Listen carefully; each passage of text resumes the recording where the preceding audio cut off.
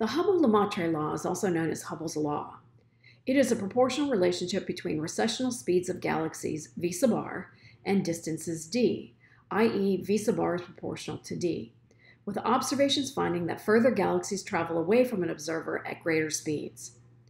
Let's take a look at this Hubble-Lemaitre law, or Hubble's law, in this graphical representation. In this graphical representation, we have recessional speeds on the vertical axis, v sub r, and on the horizontal axis, we have distance d. We have various different galaxy distances and recessional velocities plotted on this diagram, and notice that we have a blue linear line drawn through the data.